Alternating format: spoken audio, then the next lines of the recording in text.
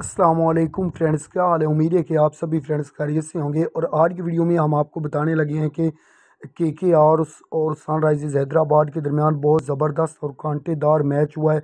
शाहरुख खान की जो टीम है के के आर वो चार रन से मैच जीतने में कामयाब हुई है और शाहरुख खान का बाद में जाकर प्लेयरों के साथ क्या रिएक्शन था, वो हम आपके साथ आज की वीडियो में शेयर करने वाले हैं। उससे पहले अगर आप हमारे चैनल पर नए आए हैं तो जल्दी से हमारे चैनल को सब्सक्राइब कर लें, ताकि मज़ीद आपको ऐसी वीडियो मिलती रहे। तो चलते हैं वीडियो स्टार्ट करते हैं और हम आपको बता दें कि एक वक्त में क्लासन ने मुकम्मल तौर पर जो मैच है, वो सनराइजर्स हैदराबाद के हक़ में कर दिया था।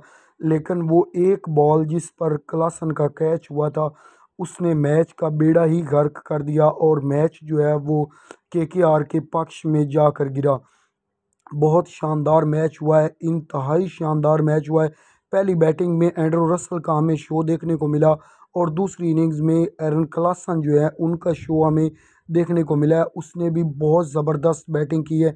जितनी भी तारीफ़ की जाए वो कम है। उनतीस गेंदों पर तिरसठ रन की शानदार इनिंग खेली है। बहुत अच्छी बैटिंग की है।